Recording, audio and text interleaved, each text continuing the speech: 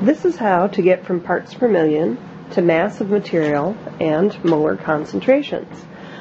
I looked up this value on the EPA site and it tells me that drinking water in the USA cannot exceed 4.0 parts per million fluoride. So our first question is, what mass of fluoride is present in 3.1 liters of water at that concentration? So if you happen to drink a lot of water in the day, how much fluoride in grams would you be drinking? Okay, first assumption is 3.1 liters of water we know is 3,100 milliliters of water. And the density of water is 1 gram per mil, so that puts us at 3,100 grams of water. So that's our given. I'm going to write that down.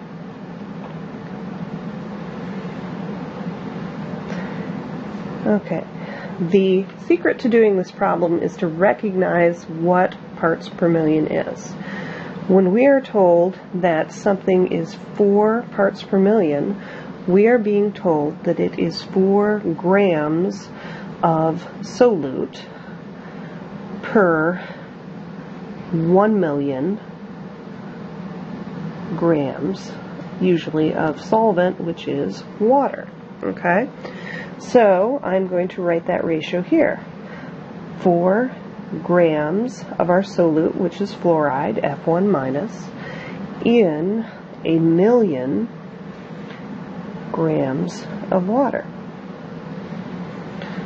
Okay, you notice how our grams of water cancel out, and we are left with 0, 0.0124 grams of fluoride. So if you happen to drink that much water per day, that's how many grams of fluoride you are drinking. It's really that easy. Okay, the next question um, asks us to get parts per million essentially in molarity, which is a chemistry unit. So it asks us the molar concentration of fluoride when it's 4 parts per million. I could start it from scratch, but I think it's easier to just use the amounts I have up here. I notice that I have this mass of fluoride. Well, in chemistry, you know whenever we have mass, it is easy enough to get to moles. So I'm going to write my grams of fluoride, and I notice that it is 19 grams of fluoride.